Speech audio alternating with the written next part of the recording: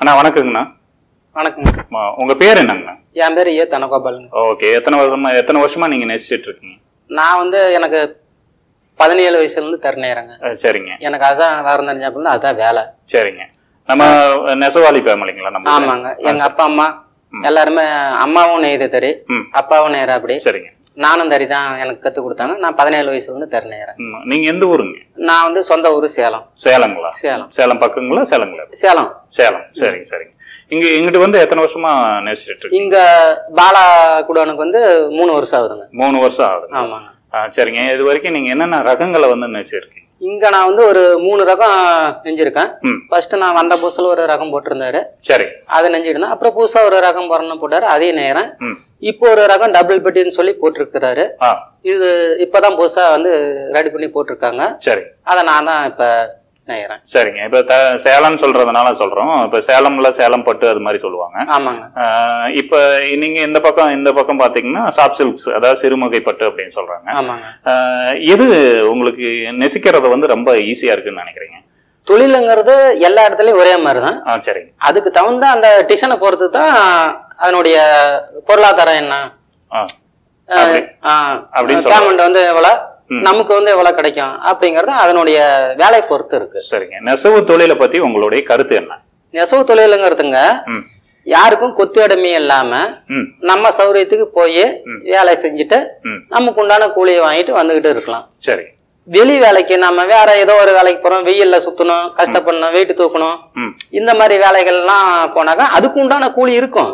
ஆனா இருந்தாலும் அது வந்து சிரமங்கள் ஆனா இந்த தொழிலை பொறுத்தவரையிலும் வீட்டிலேயே ஒரு தறியை போட்டுக்கிட்டு கூட நாம குடும்பத்தோட காலாட்டிக்கிட்டே சம்பாதிச்சிடலாம் அப்படின்னு சொல்றீங்க. ஆ இது ஏற்கனவே பழமொழி வந்து இருக்குங்க. காஞ்சிபுரம் போனாக்கா காலாட்டியும்.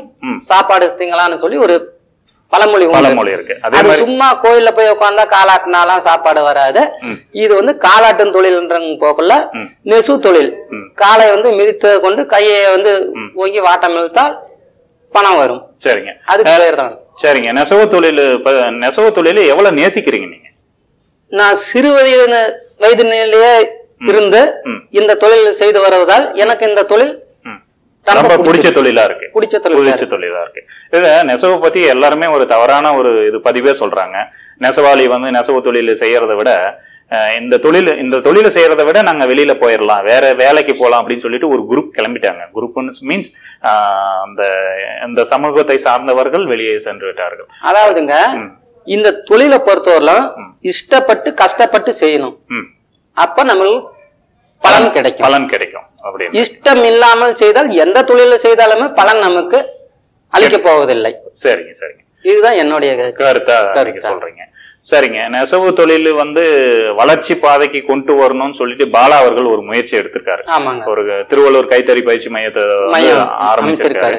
இத பத்தி உங்களுக்கு கருத்து என்னங்க? என்னுடைய கருத்து என்னன்னா இந்த தலைமுறையில் நாம வந்து இந்த தொழிலை செய்யறோம் மற்ற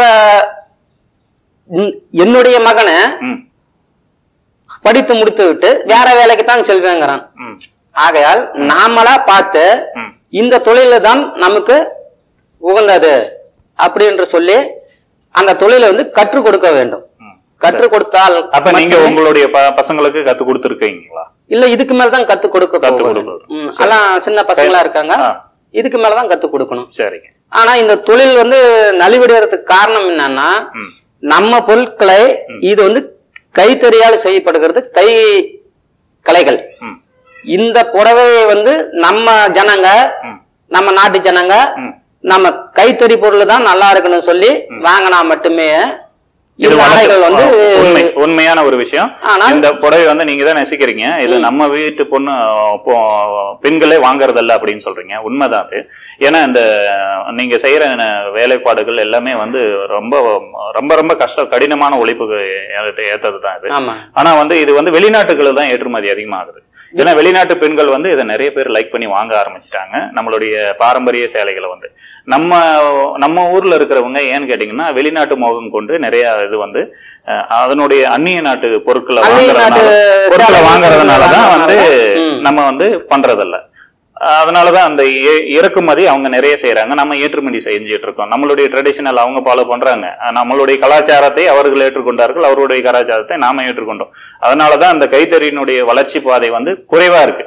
ஆனா சொல்ல போனா நெகிழ்ச்சி அடைஞ்சிட்டான். நெளிஞ்சு போயிட்டான் நெசவாளி அப்படின்லாம் சொல்லக்கூடாதுங்க. இது வளர்ச்சியில தான் இருக்கு. ஏன்னா அந்த வளர்ச்சி பாதைக்கு முன்னுதாரணமா இந்த திருவள்ளுவர் கைத்தறி பயிற்சி மையம் திகழ்ந்துட்டு. இருக்கு. உங்களுடைய பார்வையும் சொல்லியிருக்கீங்க.